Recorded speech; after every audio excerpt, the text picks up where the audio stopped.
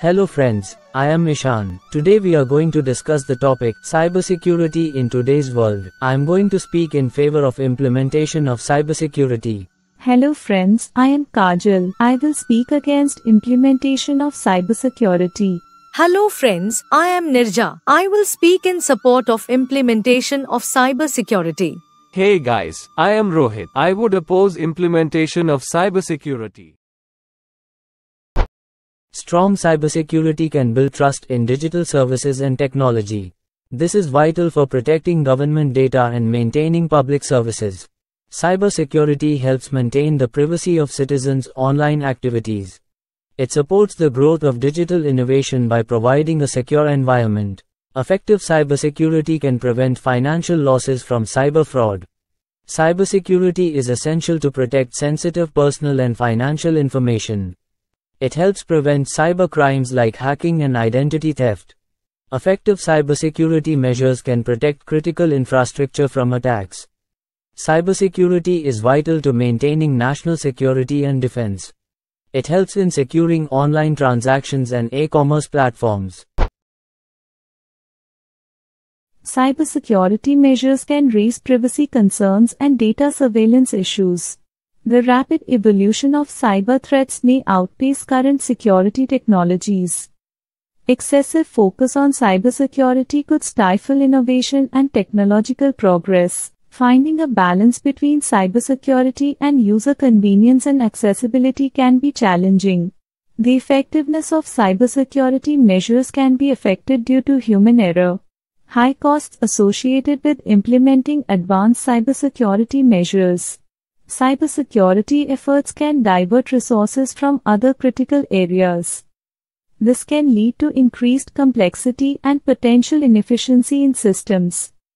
Some businesses may find cybersecurity regulations cumbersome and costly. An overemphasis on cybersecurity can create a false sense of security. Cybersecurity can prevent disruptions in critical sectors such as healthcare and finance. It supports the secure use of digital technologies in government and private sectors. Effective cybersecurity can reduce the risk of data breaches and cyber attacks. This helps to comply with international data protection regulations and standards. Prioritizing cybersecurity can help foster a culture of security and awareness in the digital age. It helps in combating cyber terrorism and protecting national interests. Cybersecurity measures can protect intellectual property and trade secrets.